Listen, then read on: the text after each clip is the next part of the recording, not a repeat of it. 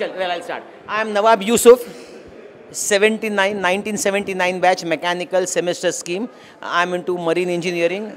I have got two companies, one by the name Arnav Engineers and Fabricators, second A Marine. I am registered with both uh, Indian Navy and uh, Coast Guard.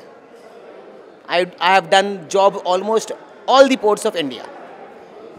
So, it, The, कितने सालों बाद आप अपने दोस्तों से मुलाकात करें जिस वक्त आपके क्लासमेट हुआ करते थे बीच में काफ़ी ऐसा हो गया होगा कि उनसे मुलाकात नहीं वापस आज भी आप मुलाकात करें कैसा लगे नहीं नहीं ये आपको मैं थोड़ी गलत फहमी दूर कर दूँ।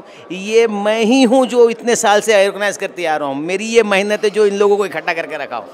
मेरी हाँ मेरा ये जुनून रहा है कि मैं लोगों से राफ्ता करके रखूँ। जो आपके इतना ज़बरदस्त आइडिया मतलब जब से कॉलेज शुरू हुआ तब से अभी तक के सारे स्टूडेंट्स को जोड़ रखा है बहुत मज़ेदार बात है अ, ये प्लान आपके जहन में आया, कहाँ से और इसका, इसके नहीं, इसके पीछे इसके पीछे हम तीन दोस्त थे, एक एक सैयद शारिक था, एक सैयद इफ्तिकार था और एक मैं, यूसुफ नवाब। हम तीनों ने मिलकर इसकी नींव डाली थी कि यार, पुराने लोगों को एक प्लेटफॉर्म पे इकट्ठा कर कर ले आना है और ये इसके लिए हम 10-15 साल का इंतज़ार किया ताकि हम चाहते थे सारे लोग इस्टेब्लिश होने के बाद मिले।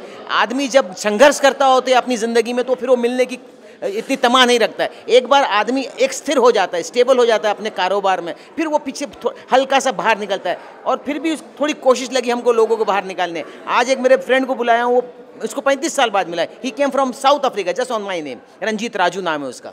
सेवेंटी नाइन मैकेनिकल उसको बुलाता हूँ, वो भी आया बेचारा सिर्फ़ मेरे कहने पर। I call in I call in